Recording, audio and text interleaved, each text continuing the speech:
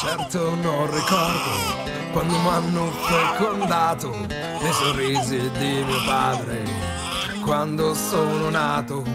Di certo io non scordo i pizzicotti di mia zia che a ripensarci ora due calci. E siamo, come avete visto, alla nostra rubrica Suoni di Calabria. I nostri ospiti in studio sono i Folk and Roll. Ve li presento Mario, Gianfranco, Dino e Alberto. Buongiorno, Buongiorno. e benvenuti. Buongiorno Calabria. Abbiamo visto un estratto del vostro video. Il nome del vostro gruppo già dà un'idea del sì. tipo di musica che eh, proponete, ma come nasce il vostro progetto? Nasce nel, nel 2009, infatti quest'anno possiamo farci gli auguri perché facciamo i nostri primi dieci anni. nasce, nasce, con l'idea di accomunare eh, la, le sonorità Irish con quelle calabre. Almeno il progetto pilota è questo, quindi iniziamo a fare anche uno studio antropologico su come strumenti simili come possono essere la cornamusa con, con la zampogna, il bodran col tamburello, terre così distanti ma così vicine poi man mano negli anni sono cambiati i componenti, cambiando i componenti ognuno ci mette il suo stile, ognuno ci mette la sua verve, quindi ci andiamo a rocchizzare, andiamo a rocchizzare questo genere popolare, questo genere eh, etno-irish popolare e siamo ancora tuttora in, uh, in, evoluzione. Quindi vuol dire comunque che se per dieci anni siete rimasti e avete continuato a fare questa attività, eh, evidentemente è un genere che, eh, che, piace, ma quali sono poi le caratteristiche del rock and folk, del folk and roll di oggi rispetto a dieci anni fa? Le caratteristiche sono quelle di riuscire a rendere, mh, mm, snellire un genere forse anche un po' vecchio, forse anche un po' pesante. Quindi renderlo con sonorità molto più moderne, sonorità che possono essere più riconoscibili, più riconoscibili da un pubblico degli anni 90, dove noi siamo un po' nati e fautori, come possono essere il Parto delle Nuvole Pesanti per parlare di gruppi calabresi o i Modena City Ramblers, eh, la banda Bardot in Emilia Romagna in Toscana.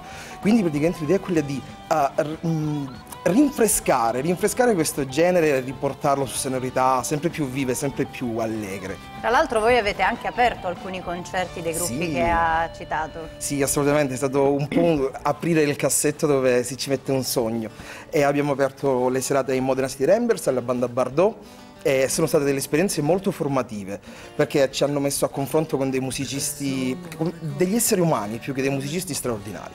E poi forse la musica crea anche un po' le, le persone, nel senso che eh, eh, lo stile che si decide di suonare rappresenta un po' la personalità dei musicisti. Ma sì, assolutamente sì, siamo degli splendidi Irish Calabri. Tra l'altro Irish, lei oggi si è presentato sì. con un kilt, non nascondo che quando me lo ha detto, insomma, un po'. temevo che potesse succedere qualcosa in studio. E, ehm, negli ultimi anni le sonorità etniche eh, hanno conquistato, stanno conquistando sempre di più sì. il pubblico. C'è un desiderio di ritornare al passato?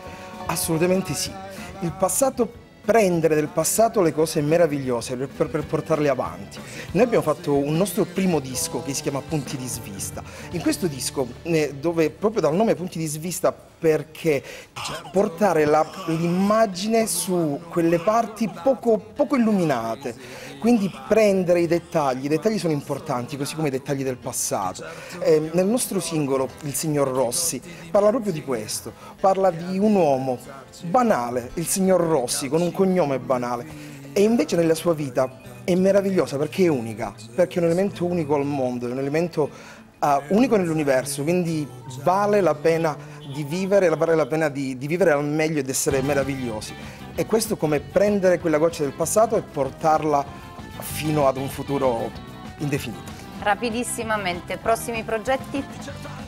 Prossimi progetti abbiamo da fare un nuovo CD che uscirà probabilmente nel prossimo inverno e un singolo, probabilmente faremo il lancio del singolo quest'estate. Perfetto, allora Quindi, in bocca al lupo per tutto, credi, grazie, grazie. E noi andiamo avanti con la trasmissione, torniamo alle informazioni. Mi ha raggiunto in studio eh, Antonio Lopez proprio per sapere...